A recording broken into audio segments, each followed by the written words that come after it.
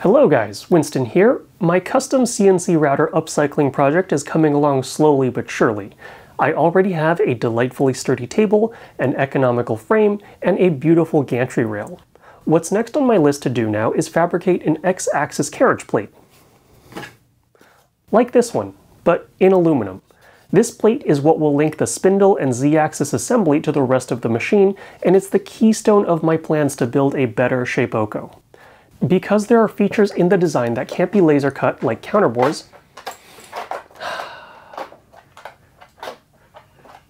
Because there are features in the design that can't be laser cut, like counterbores, I'm going to fabricate this piece on a CNC machine.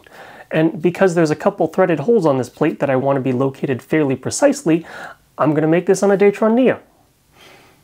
Okay, so that's not really a good rationale. That's like saying I need a vehicle that's faster than my SUV with comparable payload capacity, so I'm just going to purchase an LGM-30 Minuteman III intercontinental ballistic missile. The Datron is admittedly overkill. An HDM would do just fine, but it is super convenient because it allows me to machine an aluminum plate on both sides without needing a custom fixture for Op2 thanks to its trick vacuum work holding system. But before we get there, I think it's worth backing up a bit to explain why I'm doing this. Because I'll bet some of you are thinking, hey Winston, hasn't Carbide 3D shipped literal metric tons of perfectly good CNCs using this exact extrusion profile already? What are you doing that requires reinventing the wheel? And the answer is, yes, there are thousands of Shapeokos humming along just fine in people's garages, and no, technically I don't need to do any of this. But the truth is, as an engineer, I can't leave well enough alone. And my boss might make me regret saying this, but I think I can improve the value proposition of the humble entry-level Shapeoko. Please step into my Fusion 360 workspace and allow me to explain. This is the X-axis carriage plate assembly used on the Shapeoko 4. It's a nice thick aluminum plate with the means to easily mount a Z-axis assembly, useful features to accommodate things like drag chain mounting brackets, and of course a quartet of upgraded V-wheels. These are beefier than the ones used on the Shapeoko 3 with more meat where it matters to reduce deflection between the bearings and the plastic. Now, improved as they might be, V-Wheels will always have a bit of a reputation in the CNC router world. If you search for very long on the internet, you'll inevitably find one or more cranky wannabe machinist boomers ranting about machines like the Shapeoko 3. Blah blah blah, you're wasting your time if you're buying a V-Wheel CNC. V-Wheels aren't for serious people, you're just going to end up with a multi-thousand dollar paperweight. To me, that's ridiculous. It's like hating on a Honda Civic because the BMW M3 exists. If we already have perfection, why bother making anything else? If linear rails and ball screws exist, why use V-wheels and belts? Here's the thing. No one in their right mind would argue that these things are equivalent. One obviously is the higher performance option no matter how many exhaust tips you put on the other one. But these things also don't cost the same, which creates value, and that's a quality all its own. If the Shapeoko 4 cost as much as a Shapeoko 5, I would be a V-wheel hater too, but it doesn't. V-wheeled machines are meant to be a decent and affordable option for the masses, and in my book, the more people who can obtain, learn, and leverage digital fabrication technologies, the better. However, just because we can give V-wheel machines a break because of their value doesn't mean we can't try to raise the bar. I have a theory that the rigidity of a machine like the Shapeoko 4 can be easily improved. It might even bring it closer to parity with a linear rail machine like the Shapeoko Pro than you'd think. How? Simple, by increasing the contact area between bearing surfaces. What's better than 4 V wheels? You're never going to guess this. 8 V wheels. Mind blown. Before I go on, I should point out that I'm not the only one to have considered this approach before. Two other examples come to mind. One is the OpenBuilds Lead CNC, which uses 8 wheels on the gantry, but it then just uses 4 wheels on the z-axis, so that rigidity gain is kind of wasted. The other is the Shapeoko 2 and its direct derivative, which I shall call the former carve. They used 8 V wheels contacting two sets of V profiles. Great idea, unfortunately, the rigidity of its gantry rail was woefully inadequate for any serious work at any significant scale. But in my case, I've got a beefier gantry rail, and my z-axis will be a super rigid HDZ, so nothing is stopping me from exploiting the full benefits and rigidity from employing 8 V-wheels on the x-axis. except for some pesky laws of physics that prevent two different objects from occupying the same volume. The Shapeoko 4 X carriage design that I was going to rip off doesn't have enough room to fit four V-wheels on top of the gantry rail when you factor in the belt hardware needed for locomotion. But we can work around this. The architecture of my CNC router leaves a little extra room on my x-axis for over travel, so I can afford to make my X carriage plate a little wider in strategic areas like this. This form factor even kinda looks like it was meant to be an homage to the original Shapeoko 3 with a belt-driven Z-axis, which I think is a neat throwback. At the bottom of the X carriage, there's no belt hardware needed, so I can just space out V-wheels as needed. But that placement does mean that those extra eccentric nuts needed to make the lower V-wheels adjustable will be interfering with the HDZ. The way around that is going to be to mod an HDZ to make clearance. And if I was going to do that, I might as well go the extra mile and lightweight the entire HDZ, right? I would be a fool to pass up that opportunity. But don't worry about that for now. This video is about the X-axis carriage, and here's the final design. So now you know the what and why of this part. Now for the how. How do we go about machining this plate? Well, it just so happens that prototyping flat plates is something the Datron Neo is particularly good at. That's not to say you can't do this on other machines, and in fact I machined my first X-axis proof of concept on a Shapeoko, but there are several aspects of a Neo that make it highly desirable to use here. Accuracy is obviously one, but the vacuum work holding system of the Neo is kinda the star here. It simplifies setups immensely.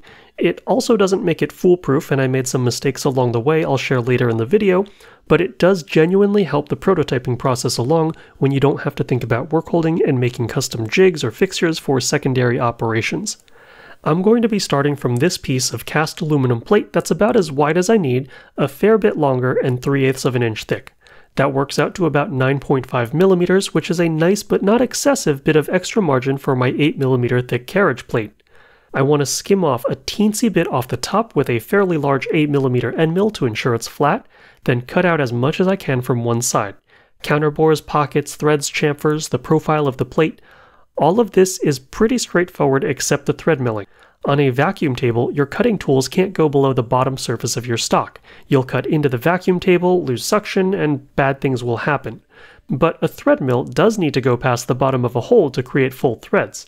How do you square those two competing requirements? A critical part of my plan here relies on the fact that my stock is thicker than my final part. I'll skim as little off the top as possible to allow my plates to sit on a 1.2mm bed of extra material. This means I can overbore my pre-tap holes and have enough margin under my part for a thread mill to machine full threads. And that's the cam for Op1 in a nutshell. It's no different than programming a part on a benchtop CNC really, it's just that everything is more aggressive and mistakes are scarier and more expensive. With that done, let's look at the physical setup for this part. The Neo I have at my disposal is solely equipped with vacuum work holding. The first thing I need to do is figure out which vacuum zones I want to open or close to focus the vacuum pressure under my stock. On top of the vacuum plate goes VacuCard, which serves as a gasket, friction enhancer, and airflow regulator. It means small through holes in your part won't instantly tank your vacuum pressure. It's conceptually similar to the MDF used on big CNC routers with vacuum work holding systems, something semi-permeable to distribute the suction evenly. On top of that, I'll set my aluminum plate stock. When positioning isn't super critical, I'll often use the front right corner as my origin. I don't measure anything, I just line up my stock with the edges of the fixture and program my part to be a couple millimeters inside the outer bounds of the stock. It's kinda like using a corner square or fence on your CNC router. It provides a nice, easy, repeatable enough place to use as your origin that doesn't require you to probe your stock. I'll turn on the vacuum, open the valves, check that the vacuum pressure is reasonably close to negative 1 bar, and check that the stock is stuck on good. On the control screen, I'll select my program and check the simulation to make sure it matches my expectations. Then, there's nothing left to do but say a prayer to the machining gods and punch go. My program started off pretty well. For the most part, I was employing cutting recipes that I've used before. I faced off the stock, cut some pockets and profiles, things started off really well.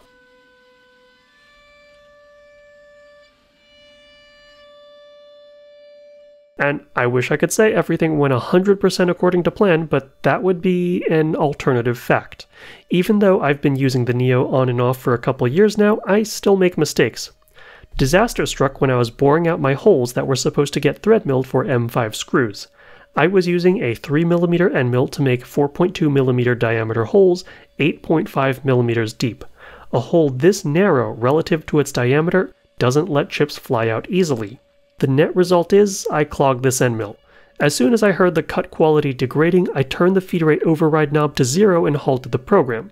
My 3mm single flute was shot. Not necessarily dead, but it wouldn't be doing any more milling today. I set it aside so I could try to save it with sodium hydroxide later. I instructed the Neo to use an alternate 3mm end mill instead, one that I probably should have used from the get-go, but long skinny end mills scare me. I think about how they're more fragile and prone to deflection, and I usually end up underestimating how tough they really are. I set the Neo to jump back into my project where I'd halted it.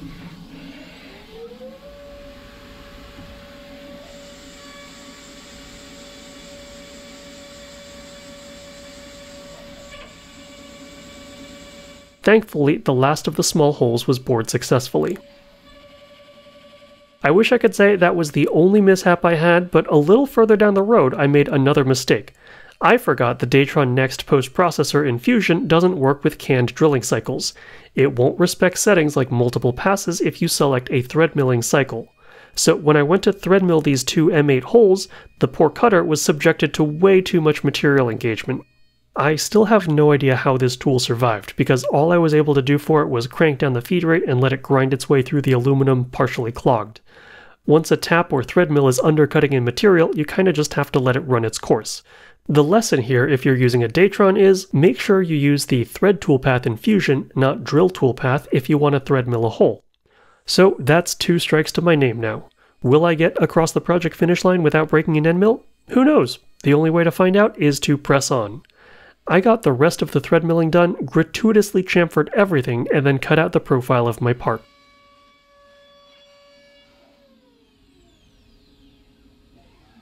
The most satisfying part of a successful vacuum work holding setup comes at the end when you separate your part from your stock remnants. You might notice the puck of material that I left inside my lightweighting hole on the X carriage. That's by design. To machine the back of my part, I'm still going to be using vacuum work holding, so minimizing air leakage is a high priority. Keeping this material intact for now presents more effective surface area to the vacuum fixture. Here's the summary of my plan for Op2. Remember I left over a millimeter of excess stock here? It was so I could elevate my workpiece and start a thread mill properly at the bottom plane of my part. But now I need to clean it up, so I'll start with a facing operation. I'm restricting it to operate solely on the plate itself and not the excess remainder I left connected. That plug is meant to stay in place for the duration of this operation to maintain vacuum pressure, but because of its relatively small surface area, it's not going to endure a lot of force, so I'll just machine around it. After this step, I can go back to do some of the boring and thread milling that I'd previously deferred. You know that I'm paranoid about chips collecting in narrow channels and holes, right? With this M3 hole, asking a 2mm end mill to punch through 8mm of material would have been a big ask. Instead, I created some clearance in Op1, and now I only need to bore 6mm down in Op2. I don't need full threads here, and this will be way less stressful. Once that's done, I can chamfer the backside. Here's how that plan played out on the Neo. On Op2, lining up my part with the corner of my table isn't good enough. I'll need to precisely locate my part. Using the visual probing system in the Datron Next control software, I set up touch points on the rightmost tab of my part and two points on the bottom. The Neo probes twice on one side so the system can compensate for small degrees of rotation.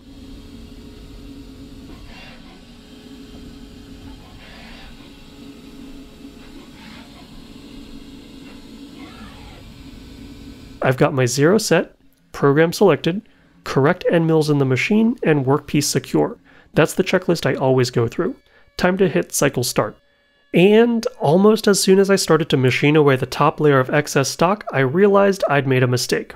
Remember how I was trying to maximize the strength of suction under my part for Op2?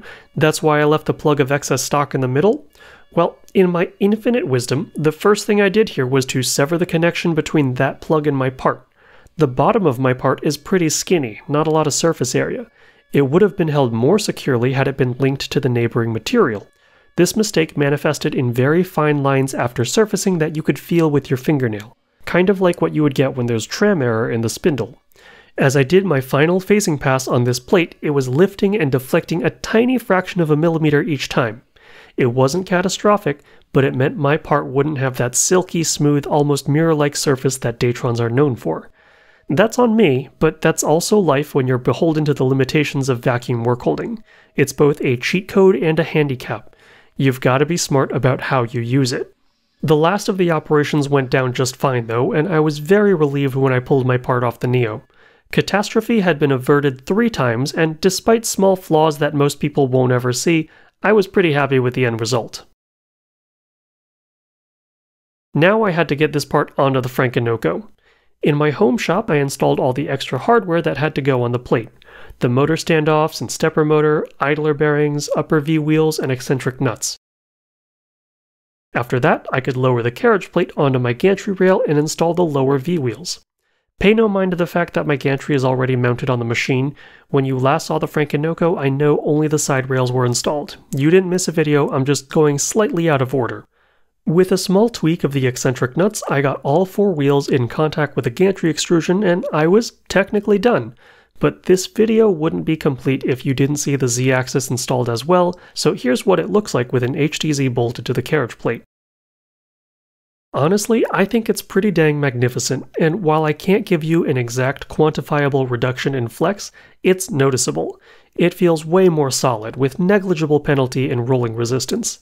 I wouldn't go so far as to say it's 100% more rigid than a Shapeoko 4, but I would be comfortable pegging the relative improvement at greater than 50%. But ultimately, this subjective measure is not what matters the most. The rubber has to meet the road. The performance needs to be validated with an actual cutting operation. So in my next video, I'll be getting the Frankenoko fully assembled and running, something I'm very much looking forward to. And this might be a bit of a spoiler, but even though I'm championing V-Wheels for their value, that doesn't mean we can't take things to 11 in other departments. I want to thank you all very much for watching, and I'll be back soon with the conclusion to my ridiculous CNC build.